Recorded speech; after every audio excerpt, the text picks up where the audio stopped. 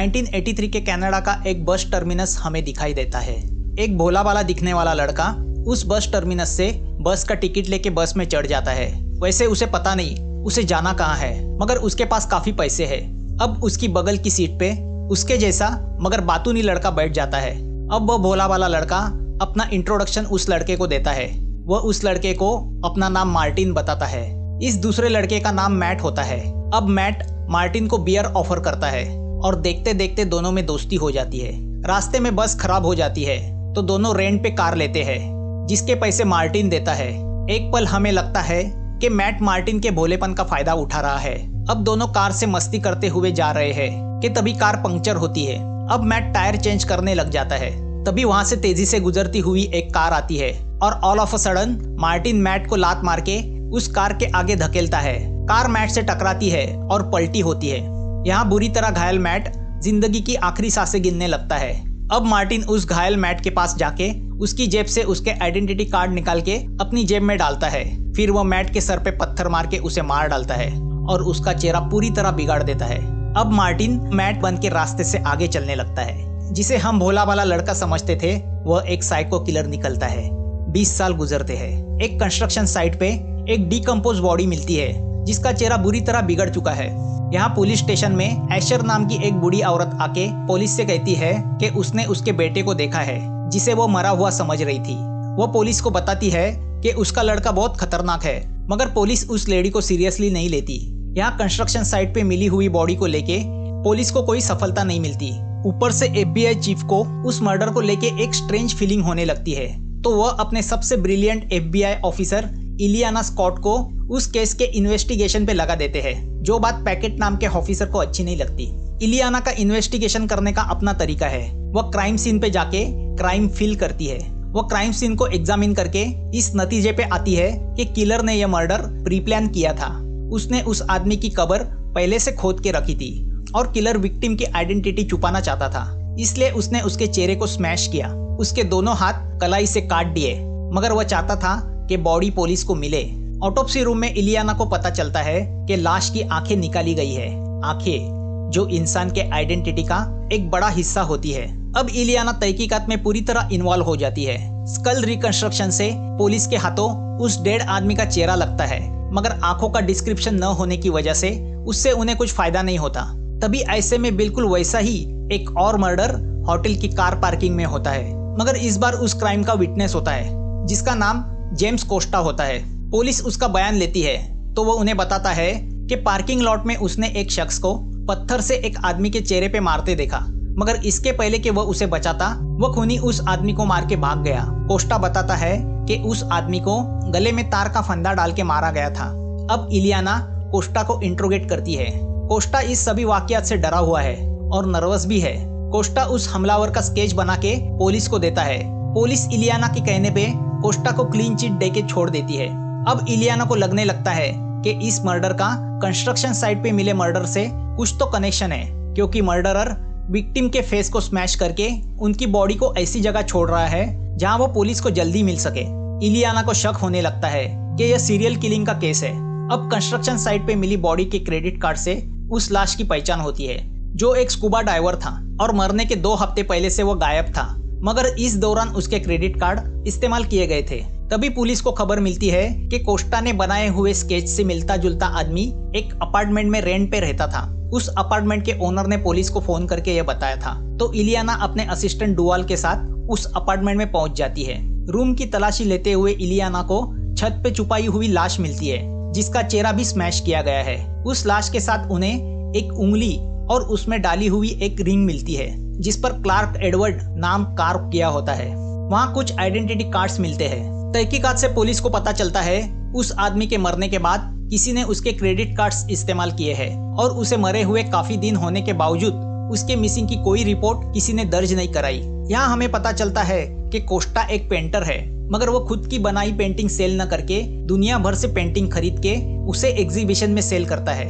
इलियाना उसे अपना नंबर देती है और कहती है कि अगर उसे कुछ याद आ जाए तो वो उसे कॉल करे। यहाँ पुलिस को पता चलता है कि जिस आदमी का पार्किंग में मर्डर हुआ था, उस होटल से उस रात ट्वेंटी टाइम्स किसी मिसेस एशर को फ़ोन किया गया था। यह वही बूढ़ी एशर है, जिसने अपने मरे हुए बेटे को फेरी टर्मिनल पे देखा था। इलियाना को यह बात सस्पिशियस लगती है तो वह उस बुढ़िया को मिलने जाती है। एशर उस घर में अकेली रहती है। वह इलियाना को बताती है कि उसके लड़के मार्टिन को मरे 20 साल के ऊपर हो गए हैं। मगर उसने अपने लड़के को उसकी आँखों से पहचाना, क्योंकि उसे जुड़वा बच्चे थे, मार्टिन और रीस, जो दिखने में बिल्कुल एक जैसे थे। तो वह उन दोनों का फ़र्क उनकी आँखों से कर लेती थी। इसलिए उसे मार्टिन की आँखें अच्छी तरह से याद है। इलियाना शेल्फ पे रखे फ़ोटोज़ देखती है, जो रीस के होते हैं। एशर उसे बताती है कि रीस जब 14 इयर्स का था, तभी एक स्नो स्लाइडिंग में उसकी मौत हो गई। मार्टिन को बचाने की कोशिश में रीस मर गया। एशर की बातों से इलियाना नोटिस करती है कि वो मार्टिन से ज़्यादा रीस को पसंद करती थी। एशर मार्टिन के बारे में ज़्यादा बात करने में दिलचस्पी नहीं दिखाती, इसलिए शायद शेल्फ पे रखी फ़ोटो फ्रेम में सभी फ़ोटो रीस के है, सिर्फ़ एक फ़ोटो मार्टिन की है, जो छुपा के रखी है। एशर इलियाना को बताती है कि जब मार्टिन 16 साल का था, तब घर से पैसे उठा के भाग गया था। उसके भागने के कुछ दिन बाद पुलिस का उसे फ़ोन आया कि मार्टिन की एक कार एक्सीडेंट में मौत हो गई है। बात करते वक्त इलियाना की नज़र वहाँ बनाए एक छुपे दरवाजे की ओर जाती है। अब वह जानना चाहती है कि दरवाजे के पीछे क्या है? इलियाना अब मार्टिन की 20 साल पहले दफन की हुई बॉडी कबर से बाहर निकलती है और उसे ऑटोप्सी के लिए भेज देती है। ऑटोप्सी डॉक्टर उस बॉडी को एग्जामिन करती है तो उसे पता चलता है कि वह बॉडी किसी और की है, मार्टिन की नहीं, क्योंकि मार्टिन के बाएँ हाथ की हड्डी टूटी हुई थी, मगर इस लाश की बाएँ हाथ की हड्डी अच्छी कंडीशन में है। अब इलियाना रात को चुपके से मिसेस एशर के घर जाती है और उस छुपे दरवाजे को खोलती है, जो तयखाने का होता है। तयखाने में एक बेड होता है। मानो वहाँ किसी को कभी बंद किया गया था। वहाँ उसे कुछ लकड़ी के खिलौने दिखते हैं, जिसमें एक खिलौने के गले में तार लपेटी हुई होती है। बिल्कुल वैसे ही, जैसे पिछले कुछ विक्टिम को तार से काटा गया था। इलियाना अपने आदत के अनुसार बेड पे सो के मार्टिन के मानसिकता का जायजा लेने लगती है कि तभी बेड के नीचे से एक अनजान शख्स उस पर हमला करता है। मगर जैसे ही इलियाना गन निकालती है, वह शख्स भाग जाता है। यहाँ इलियाना नहाते वक्त मार्टिन के मेंटेलिटी के बारे में सोचती है तो उसे मार्टिन के मर्डर करने के पीछे का राज पता चलता है। अब वह अपने सुपीरियर के सामने प्रेजेंटेशन देती है। वह उन्हें बताती है कि क्यों मार्टिन इतने सारे मर्डर करने के बाद भी पिछले 20 साल से पकड़ा नहीं गया। मार्टिन का पहला विक्टिम था मैट। उसने उसे मारा, मगर उसकी आइडेंटिटी के साथ अपनी आइडेंटिटी एक्सचेंज की। उसने मैट की डेड बॉडी को अपने कपड़े पहना के अपनी आइडेंटिटी कार्ड उसकी बॉडी के पास छोड़ दिए, जिससे पुलिस को लगा वह डेड बॉडी मार्टिन की है। मगर मार्टिन मैट की आइडेंटिटी लेके उसकी लाइफ जीने लगा। जब वह मैट की लाइफ से तंग आ गया तो उसने किसी और को मारा और उसकी आइडेंटिटी ली। पिछले 20 साल से उसने इसी तरह से मर्डर करके लगभग 19 लोगों को मारा और आइडेंटिटी चेंज करता रहा। वह विक्टिम के क्रेडिट कार्ड और घर को इस्तेमाल करता रहा। उसके निशाने पे हमेशा वह लोग होते थे जो सोसाइटी से अलग रहना पसंद करते थे, जिन्हें कोई जानता नहीं था। इलियाना बताती है कि मार्टिन की मेंटल कंडीशन बिगड़ी हुई थी। उसकी माँ एशर को लगता था कि मार्टिन ने अपने भाई रीस को मारा है, क्योंकि एशर रीस से ज़्यादा प्यार करती थी, उसे ज़्यादा फेवर करती थी। मार्टिन को रीस की मौत का जिम्मेदार ठहरा के उसने मार्टिन को तय खाने में बंद किया और उसे टॉर्चर करना शुरू किया, जिससे मार्टिन को अपनी आइडेंटिटी से नफरत होने लगी। एक दिन मौका देख के वह घर से भागा और उसने यह आइडेंटिटी चेंज करने का खेल शुरू किया। मरे हुए सभी लोगों के बॉडी स्ट्रक्चर मार्टिन के शरीर से मिलते जुलते थे। यहाँ कोस्टा पुलिस को फ़ोन करके बताता है कि उसके घर चोरी हुई है। इलियाना कोस्टा के घर जाती है तो उसे पता चलता है, कोस्टा के एक क्लाइंट का नाम क्लार्क एडवर्ड है। यह क्लार्क एडवर्ड वही नाम है, जो इलियाना को उस घर में पाई गई अंगूठी पे मिला था। अब इलियाना को शक होता है कि कोस्टा का यह क्लाइंट जो अपने आप को क्लार्क एडवर्ड कहलाता है, शायद वह मार्टिन है। अब कोस्टा इलियाना की तरफ़ अट्रैक्ट होता है। कोस्टा उससे पूछता है कि ऐसी क्या बात थी कि उसने एफ़ बी आई ज्वाइन किया। इलियाना उसे बताती है कि जब वह 16 साल की थी तो उसके हाथों घर में घुसे हुए एक चोर का मर्डर हुआ था, जो सिर्फ़ टीवी चुराने आया था। उस वाकियात से इलियाना को एहसास हुआ कि एक छोटी चोरी के खातिर उसने चोर को मार डाला। मगर दुनिया में ऐसे कितने संगीन क्राइम होते रहते हैं, उनका क्या? और ऐसे ब्रूटल्स क्रिमिनल्स को पकड़ने के लिए उसने एफबीआई ज्वाइन किया। कोस्टा उसे देखता रह जाता है। अब इलियाना भी कोस्टा के ख्यालों में रहने लगती है। यहाँ कोस्टा के एग्जीबिशन के दिन पुलिस उस पर नज़र रखे हुए है। तभी इलियाना की नज़र वहाँ घूमते एक अनजान शख्स को भाप लेती है।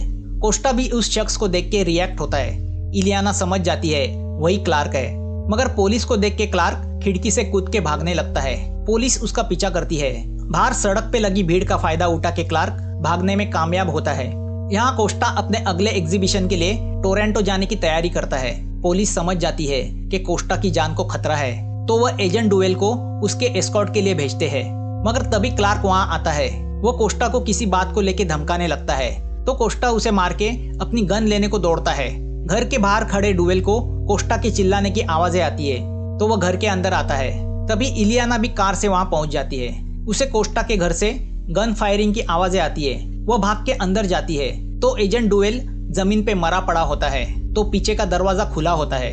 जब तक के वह दरवाजे से बाहर आती है, क्लार्क कोस्टा को कार में से लेके भागता है। अब क्लार्क और इलियाना के बीच कार चेस शुरू होती है, कि तभी क्लार्क की गाड़ी रास्ते में लगे कंक्रीट ब्लॉक से टकराती है। कोस्टा कार से बाहर आके एक्सीडेंट में मरे क्लार्क पे फ्रस्ट्रेट होके गोली चलाता है। तभी कार में ब्लास्ट होता है। क्लार्क की बॉडी उसमें पूरी तरह जल जाती है। कोस्टा घायल होता है।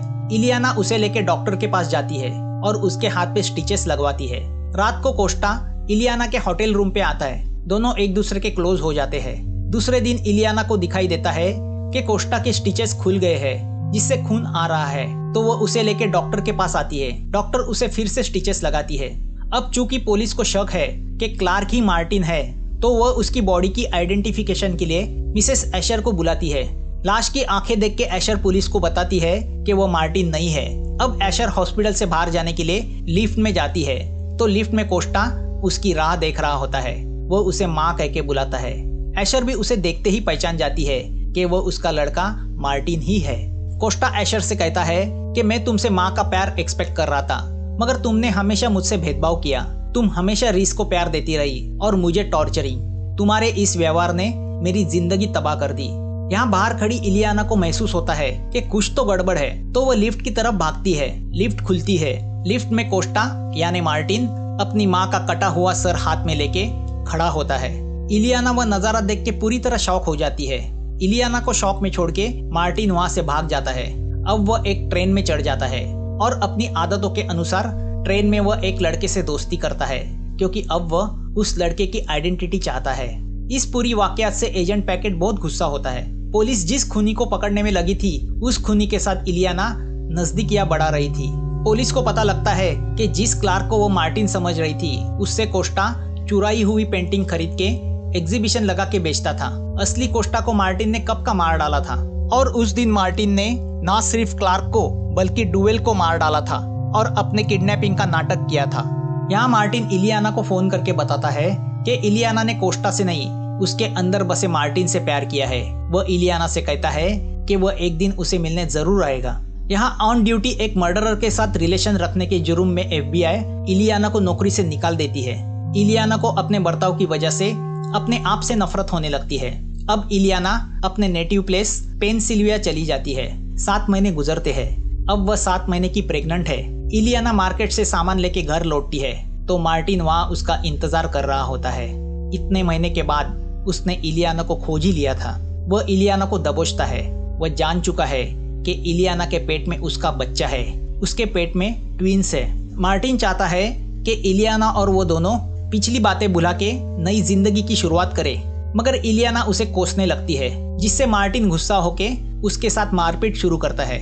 मार्टिन की बातों से पता चलता है कि वह उस पर कई दिनों से नज़र रखे हुए था। मगर अब इलियाना का एटीट्यूड देख के मार्टिन समझ जाता है कि इलियाना कभी उसका स्वीकार नहीं करेगी। तो अब वह उसे मारने के लिए तार निकालता है।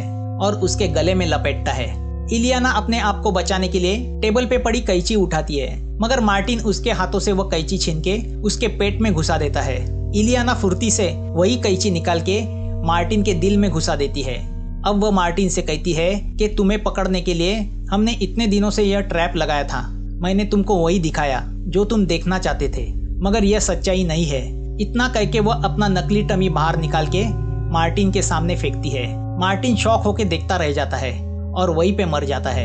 इलियाना एफबीआई चीफ को फ़ोन करके बताती है कि उनका मिशन सक्सेसफुल हो गया है। मूवी यहाँ खत्म होती है। अगर आपको यह एक्सप्लेनेशन अच्छा लगा हो तो प्लीज़ कमेंट करना। नोटिफिकेशन के लिए बेल आइकन दबाना और प्लीज़ सब्सक्राइब करके हमारा हौसला बढ़ाना। फिर मिलेंगे एक नई मूवी के साथ।